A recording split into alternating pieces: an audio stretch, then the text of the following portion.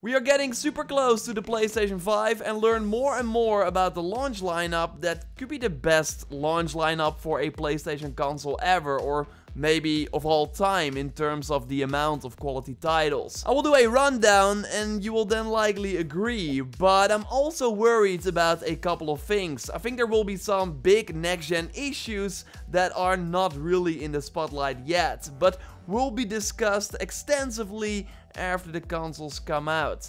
You know, every Sunday I want to make predictions based on research in the Sunday Your Game Show. So thanks for joining for episode 24 where we look at the recent gaming trends and I of course answer one of your questions at the end of the video as well.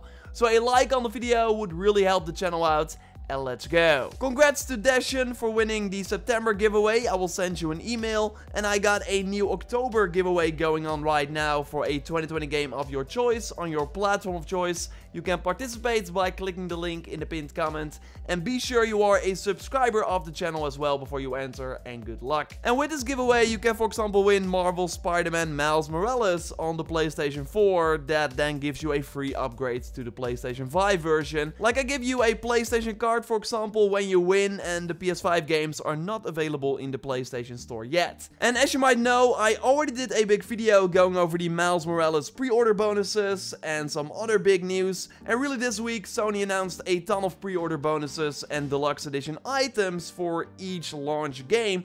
And then I realized like how many launch exclusives they have for the PlayStation 5. The Sackboy Deluxe Edition costumes are awesome from Deacon of Days Gone, Sam Porter Bridges and of course the highlight Jin. Sackboy never looked more badass in my opinion and this is really Sony's Knack this time around, only it looks and will likely be way better. But I think that Demon's Souls will be the highest rated PlayStation 5 launch exclusive. Like sure, Spider-Man Miles Morales will be good, but because it's not a full game and uses a lot of familiar elements from Spider-Man PS4, I think that a remake of a game that has an 89 on Metacritic, and it is of course from Bluepoint, a studio that knows how to make remakes, looking at the recent Shadow of the Colossus, and the Demon's Souls footage looked of course amazing. High chance that this will be the best PlayStation 5 launch exclusive, but your theories are more than welcome in the comments down below. A game that you maybe already forgot about is Destruction All-Stars, it's also full priced,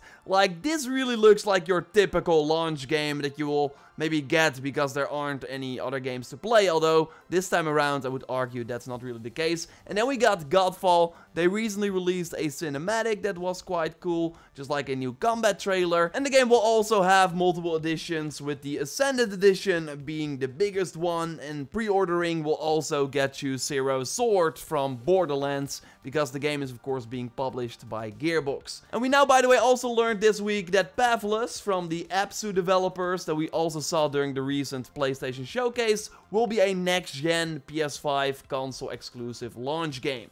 So I think you then agree, right? Comparing these games that I just mentioned versus Killzone Shadowfall, Knack and Resogun on PS4, or Resistance Fall of Man and Ridge Racer on PS3, then the PlayStation 5 is looking insanely strong. And then I did not even mention third-party titles like Assassin's Creed Valhalla, Watch Dogs Legion, Call of Duty Black Ops Cold War, and many others. And then Cyberpunk will also be a launch game in Europe on November 19th. The Xbox Series X is not having the same powerful launch exclusives, mainly because of the Halo delay, the medium still looks good though, but no, I think the Xbox Series X will likely shine the most at launch while playing a lost generation games at a way higher fidelity.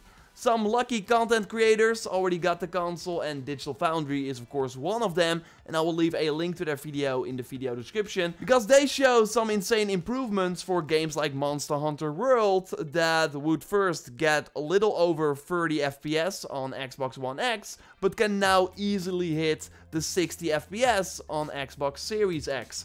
Sekiro is another one of those games. Like, if the game doesn't have a capped frame rate, the Series X will use its power to get to 60 FPS. And this is without a next-gen update, but just by playing the game through backwards compatibility. Meaning that many games on November 10th, so day 1 when the Series X comes out, will run and look way better Oh, and of course load way faster too. IGN got some examples of that in their video with Red Dead Redemption 2 taking 1 minute and 5 seconds to load on Series X and almost 3 times as long on Xbox One X. Halo 5 took 25 seconds versus 1 minute and 7 seconds on Xbox One X. So I'm really curious if they will load like even faster with games that are truly made for next gen and the PlayStation 5's SSD should be two times as fast as the one of the Series X. So Curious how big the differences will be. But yeah, on PlayStation 5, I don't think we can try it with every game like we can on Xbox Series X. A source code on a Sony website namely made references to some interesting PlayStation 5 features like party chat with up to 100 players.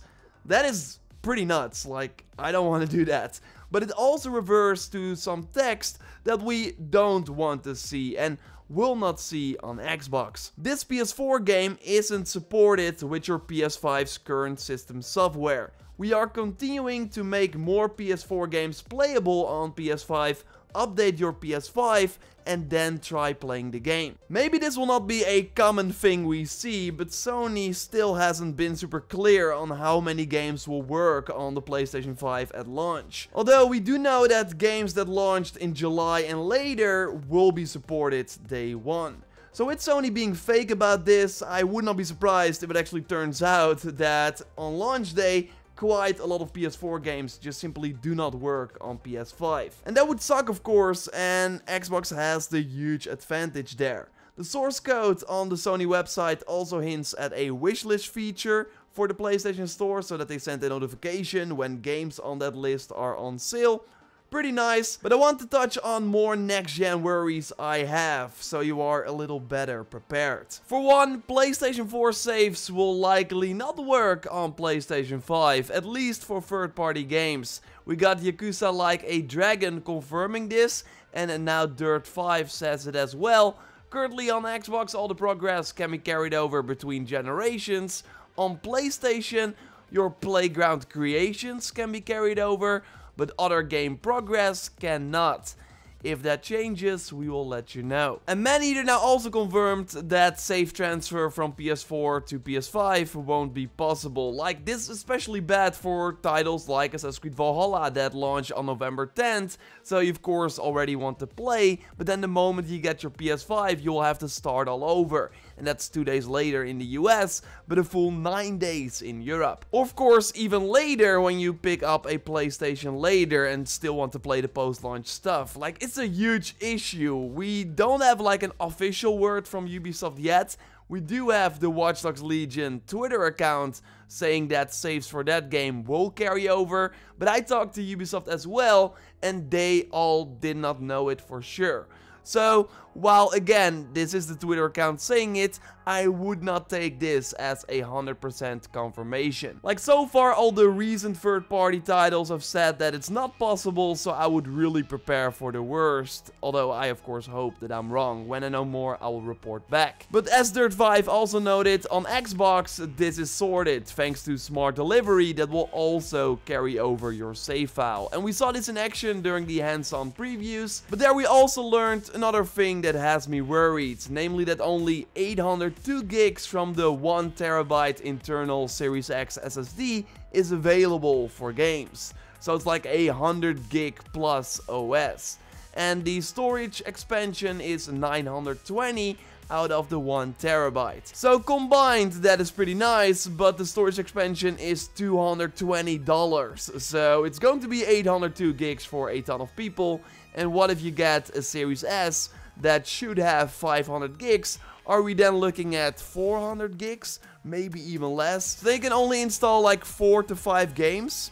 That's not a lot, but the PlayStation 5 isn't looking good either. We already knew that it wasn't going to be 1TB but 825 gigs because of the nature of the SSD. Remember that Mark Cerny presentation earlier this year? Well, he announced it there. But just like on Xbox, the amount of free space we can actually use is way less. On ResetEra, we got Agram posting a picture from someone who has the PS5 already, where we see 664 gigs as the free space after the OS and everything is installed. We know that Demon Souls is 66 gigs and if you get the Miles Morales Ultimate Edition then you of course get both Miles Morales and also Spider-Man Remastered and that's going to be 105 gigs combined. So then you're already almost at one third of the SSD if you got both games installed. Like I would not be surprised if people this holiday already had to pick and choose and delete some games. It's going to be a mess. We already know that Xbox and I think PlayStation 5 as well will provide ways to just download one part of the game, like just a single player of Call of Duty for example. Xbox News shared an image from Xbox Dynasty who like illustrated that very well. But this will not be possible with all the games of course, like we really have to pick and choose or spend a ton extra on storage. Don't get me wrong, I'm still super hyped for next gen. I cannot wait to put my PS4 Pro and One X aside for these new consoles. But I also think that the hype is kind of overtaking some of the negative news that has come out so far about some struggles we will likely have in that one-time transition, especially on the PlayStation 5, although the PlayStation 5 has the best games and potentially, I still think so, the best launch lineup. But let me know if you agree in the comments down below. And like in the end it will be for the best. We got the previews coming out for the Series X and now also for the PlayStation 5 that both say that the systems are super quiet. Like, I don't want to hear the jet engine from the PS4 Pro again. And it seems like they fixed that with these new consoles. And also, the PS5 just looks awesome. Like, I'm getting more used to the look. We got news shots now from 4Gamer.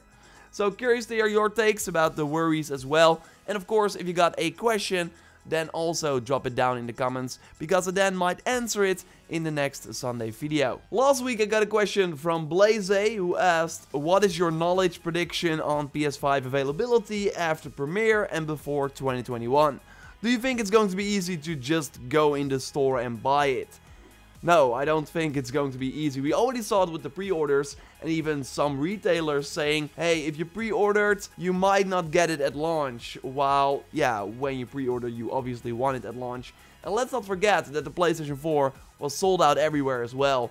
PlayStation 5, even more hype, more people gaming, more people indoor wanting to play a game. So I think it's going to be even harder. And also COVID makes sure that like shipping these consoles to retailers is harder than before. So I totally think there will be a shortage. Maybe the Series S will be easier to get, while the Series X is also like sold out. Although, like in Europe, Xbox is not that huge, so I think it's easier to get an Xbox in Europe. Overall, PlayStation 5 though, both editions, it's gonna be super hard, likely into early 2021 as well, and then maybe in April it will be easier to get it. That's what I think will happen. But hope you already pre-ordered because otherwise it's going to be hard to get one in the holiday season. When we know more next-gen news or other gaming trends, I will of course discuss it here every Sunday, but of course have way more videos coming your way. Pretty cool week coming up, so keep it locked for that. A like on the video would really help the channel out, and also check out my previous Sunday video on the Bethesda buyout and what Sony's next-gen strategy now is. For now though, I will speak to you next time and goodbye.